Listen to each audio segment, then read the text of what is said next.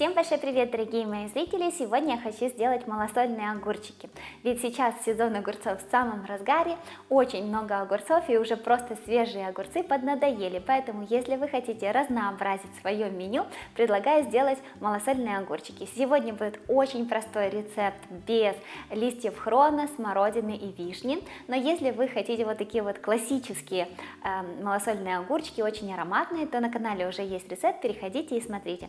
Сегодня я сделать очень простой рецепт из доступных ингредиентов, которые можно любить, не любить, а купить в любом магазине или супермаркете. Здесь у меня 700 граммов огурцов, потому что я делаю на двоих человек, и я не люблю, когда огурцы слишком соленые становятся.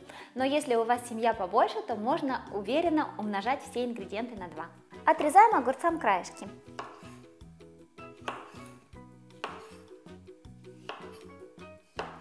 Малосольные огурцы без укропа это уже не малосольные огурцы, поэтому берем укроп. Если есть вот такие вот зонтики, отлично, но, конечно, их не так легко достать, если вы живете в городе. В основном это они есть у тех, у кого есть своя дача или свой огород. Тогда вот эти зонтики это то, что нужно, потому что они очень и очень ароматные. Но если их нет, то берем обычный укроп. Берем банку стеклянную или лоток и укладываем на дно зонтики укропа. А также обычный укроп.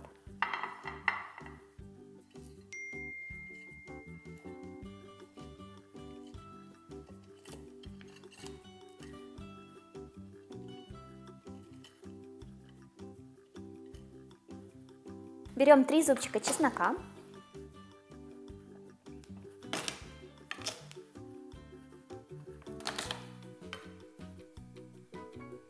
Чеснок раздавливаем для того, чтобы он быстрее отдал все свои ароматы.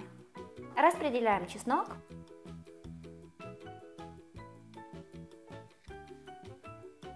Здесь у меня 500 мл воды и я добавляю 1 столовую ложку без горки соли.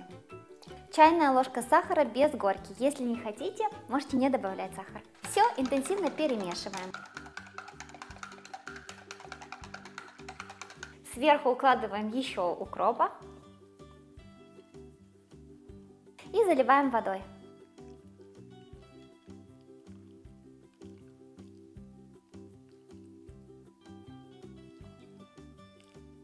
Теперь закрываем крышкой, чтобы все огурцы были у нас в рассоле. Если вы это делаете в банке, то там проще, вы просто доливаете рассол до уровня, на, на котором у вас огурцы заканчиваются, чтобы все было э, в рассоле. Если у вас такая вот крышка, то хорошенько вот так прижимаем, чтобы тоже все было в рассоле.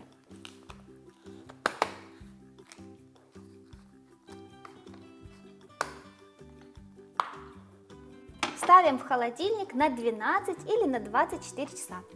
Я люблю, когда огурцы слегка просолились, поэтому я могу есть уже через 12 часов. Если вы хотите, чтобы они побольше просолились, то оставляйте на 24 часа в таком рассоле и будет вам вкуснятина. Огурцы уже полностью промалосолились. С этой пропорцией соли они действительно получаются малосольными. Если вы любите более соленые, то вы можете добавить чуть больше соли. Но я не люблю вот эти пересоленные огурцы, которые потом становятся такими сероватыми.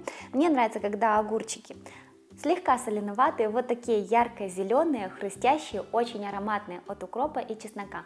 Добавляйте побольше укропа, по вкусу чесночка, и все будет очень вкусно, и действительно огурцы будут малосольными.